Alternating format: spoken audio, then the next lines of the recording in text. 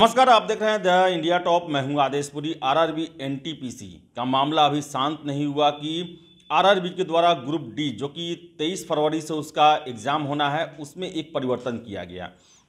CBT two add कर दिया गया है, जिसको लेकर फिर से छात्र आक्रोशित हो गए हैं। और अभी खबर जो मिल रही है, बिहार शरीफ में आपको बता दें कि श्रमजीवी एक्सप्रेस को एक घंटे तक छात्रों के द्वारा रोका गया है। आप विजुअल में देख सकते हैं कि श्रमजीवी एक्सप्रेस बिहार शरीफ में रोका गया है।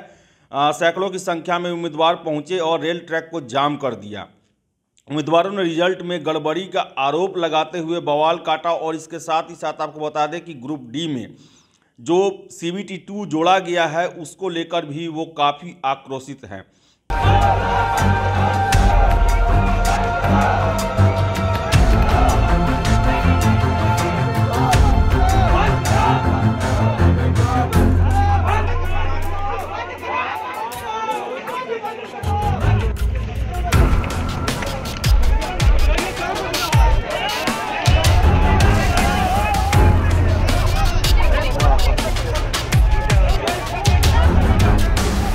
एक घंटे तक बिहार शरीफ रेलवे स्टेशन पर भगदड़ जैसा माहौल बना रहा।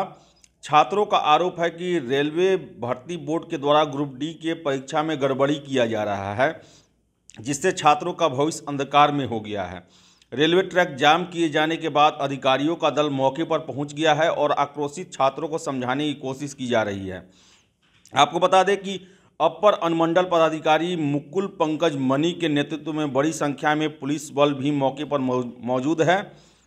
आपको बता दें कि बिहार शरीफ में इससे पहले भी छात्र अपनी मांगों को लेकर तोड़फोड़ कर चुके हैं, ऐसी सूचनाएँ मिल रही है और आप देख रहे हैं कि रेलवे स्टेशन जो है वहाँ पर ट्रेन रुकी हुई है, हालाँकि परिचालन फिर से शुरू हो गया है, लेकिन आक्रोश जो है वो छात्रों का निकल रहा है आरआरबी के खिलाफ। कार्रवाई उग्र काम नहीं किया गया है। छात्रों के द्वारा शांतिपूर्ण यहाँ पर लोग इकट्ठा हो गए थे और ट्रेन का यातायात जो है थोड़ी देर के लिए रुकी हुई थी जिसको सुचारू रूप से चलवा दिया गया है। क्या मांगे हैं सर छात्रों की? छात्रों की मांग मांग है आरआरबी एग्ज़ाम में एन टी को लेकर के कुछ लोगों में रोष है जिस पर बातचीत अलग प्रक्रिया है उसकी।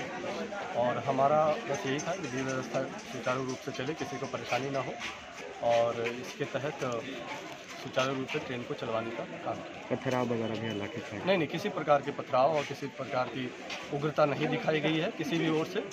और बहुत ही शांतिपूर्ण और बहुत ही अच्छे वातावरण में सब लोग से बातचीत करके सब लोग को समझाया बुझाया गया और सभी लोगों ने ट्रैक को खाली कर दिया। तो सी बी जो एग्ज़ाम है ग्रुप डी का ये हटना चाहिए। अगर ये देना होता तो नोटिफिकेशन में पहले जिस टाइम एग्ज़ाम फॉर्म आया था उसी टाइम दे देता। सरकार की मतलब कि डबल एग्ज़ाम होगा सी बी टू होगा तो हम लोग उस टाइम अगर संभव होता तो डालते नहीं तो नहीं डालते।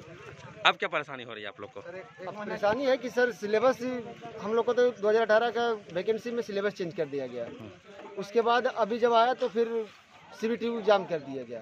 तो बताइए ग्रुप डी क्या मतलब इसको कोई स्टैंडर्ड नाम दीजिए या तो फिर इसको अति दीजिए। तो आप लोग आप लोग तो आप लोग किस किस तरह से कर रहे हैं प्रोस्टेट आप लोग प्रोस्टेट सर हम लोग को बहुत परेशानी हो रही है सर। हम लोग का एक उम्मीद जागा हुआ था सर किस उम्मीद को लेकर हम लोग आगे बढ़ेंगे।